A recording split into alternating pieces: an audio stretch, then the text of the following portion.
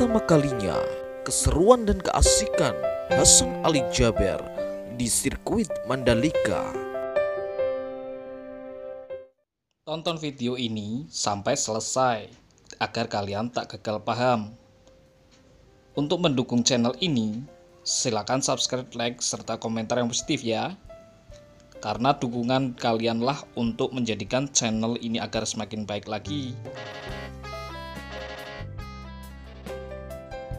Akhirnya, Hasan Ali Jaber memperlihatkan dari akun Instagram pribadinya yang di mana Hasan Ali Jaber mengunggah video tentang sirkuit Mandalika. Untuk pertama kalinya, Hasan Ali Jaber mengunggah video dirinya seperti di dalam menonton sirkuit Mandalika. Memang pada saat ini sirkuit Mandalika sudah diresmikan dan sudah telah dibuka untuk pertama kalinya dalam perlombaan motor GP.